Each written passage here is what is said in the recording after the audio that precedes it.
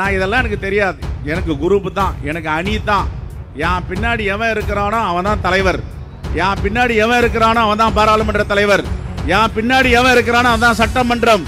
என் பின்னாடி எவன் இருக்கிறானோ அவன் தான் மாமன்ற உறுப்பினர். இப்படி போனால் எந்த கட்சி ஆட்சியை பிடிக்குவதற்கு வாய்ப்பு இருக்கிறது என்பதை நாம் சுய பரிசோதனை செய்து கொண்டேன்.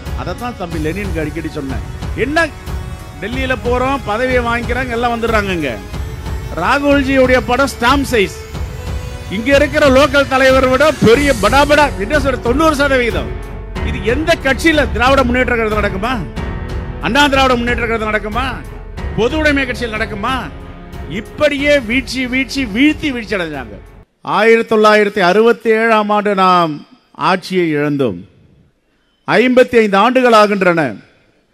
ஐம்பத்தைந்து ஆண்டுகளாக நாற்பத்தி நான்கு சதவீத வாக்கு வங்கியை நமக்கு என்ன பெருமை என்றால் ஆறு சதவீதமாக ஆக்கியதுதான். இதற்கு யார் பொறுப்பேற்பது? இங்கே அருமை சகோதரர் கிருஷ்ணாழ்வார் தமிழில் இவ்வளவு அழகாக பேசுவார் என்று நான் சிறிதும் நினைத்து பார்க்கவில்லை. தம்பி பாக்கியராஜ் சொன்னது போல பச்சை தமிழர்கள் கூட இந்த உண்மையை சொல்ல மாட்டார்கள். ஆனால் வேறு மாநிலத்தில் பிறந்து வளர்ந்து இங்கே வந்து தமிழகத்தின் அரசியலை இந்த அடிச்சுவட்டை அழகாக படம் எடுத்து காட்டியிருக்கிறார். உண்மையிலேயே நாம் எல்லாம் வேதனை அடைகிறோம். எப்படிப்பட்ட மாநிலம் இது? நாற்பத்தி நான்கு விழுக்காடு வாக்குகளை வைத்திருந்த பெருந்தலைவர் காமராஜர் ஆட்சியில் ஆயிரத்தி தொள்ளாயிரத்தி அறுபத்தி ஏழாம் ஆண்டு நாம் இழந்தோம். ஐம்பத்தைந்து ஆண்டுகள் ஆகின்றன. ஐம்பத்தைந்து ஆண்டுகள் வளர்ச்சி பெறவில்லை என்றால் பரவில்லை. வீழ்ச்சி அடைந்திருக்க கூடாது. அந்த வேதனையைத்தான் அவர் சொல்லாமல் சொல்லியிருக்கிறார். என்ன பிரச்சனை? அதிகாரத்திற்கு வந்து சண்டை போட்டுக் கொள்வது வேறு. அதிகாரத்திற்கு வராமலே சண்டை போட்டுக் கொள்வது வேறு. அதுதான் நம்முடைய காங்கிரஸ் பேரியக்கத்தில் நடந்தது என்பதை அவர் சொல்லாமல் உங்களுக்கெல்லாம் தெரியும் என்று சொல்லியிருக்கிறார்.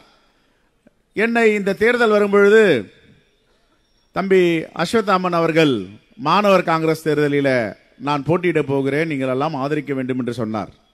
நான் சொன்னேன் எந்த அணியும் சேராமல் எந்த பிணியிலும் ஈடுபடாமல் தலைவர் ராகுல் காந்திக்கு நீங்கள் விசுவாசமா இருப்பீர்கள் என்றால் நான் கண்டிப்பாக உங்களை ஆதரிக்கிறேன் என்று சொன்னேன். அதே போன்று அன்று வரை இன்று வரை எந்த அணியிலும் இல்லாமல் ராகுல் காந்தி அணி என்று சொல்லிக் கொண்டிருக்கிறார். அதே போன்று தம்பி லெனின் பிரசாத் அவர்கள் எங்களை எல்லாம் ஆதரவு கேட்டார். நம்முடைய தலைவர் பெருமக்கள் எல்லாம் அவருக்கு ஆதரவு தெரிவித்தார்கள். அப்பொழுது நான் அவருக்கு சொன்ன அறிவுரை லைலா கல்லூரியில் ஒரு கூட்டம் நடந்தது. அந்த கூட்டத்தில் நீங்கள் வந்து ஆதரவு தெரிவிக்க வேண்டும் என்று ஐகேபில் நடக்கும்பொழுது சொன்னேன்.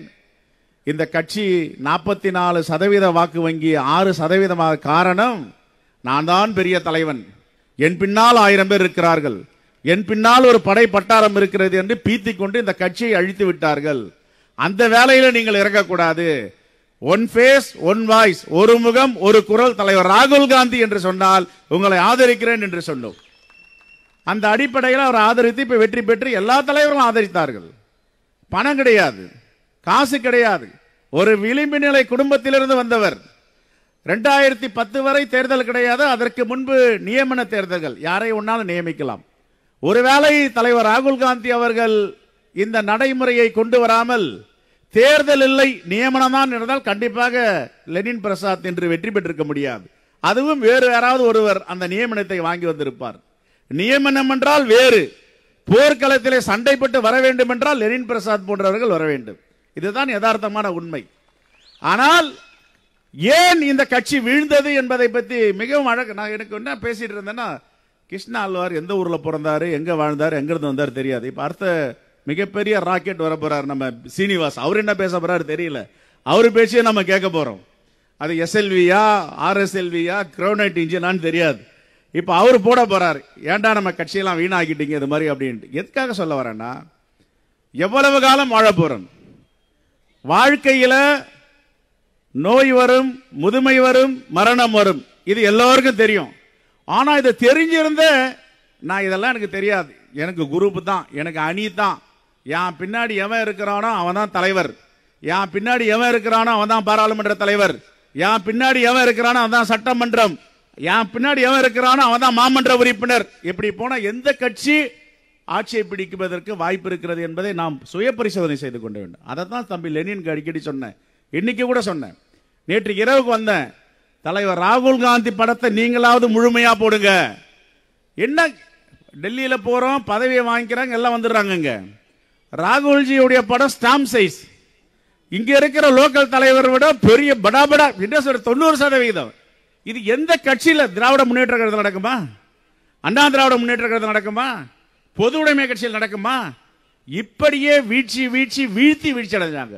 ஆகையால நறுமை அருமை இளைஞர் காங்கிரஸ் தலைவர் பெருமக்களை ஆயிரத்தி தொள்ளாயிரத்தி அறுபத்தி ஏழில் வீழ்ந்ததை நீங்கள் இரண்டாயிரத்தி இருபத்தி இரண்டாம் ஆண்டுக்கு பிறகு நீங்கள் இதை முயற்சி செய்து நீங்கள் வீழ்ச்சியை எழுச்சி அடைய வைக்க வேண்டும். பெருந்தலைவர் காமராஜர் ஆட்சியை கொண்டு வர வேண்டும் என்றால் இளைஞர் காங்கிரஸ் தலைவர்களால் மட்டும்தான் உங்களால் மட்டும்தான் முடியும் என்ற நம்பிக்கை தலைவர் ராகுல் காந்தி அவர்கள் இருக்கிறது.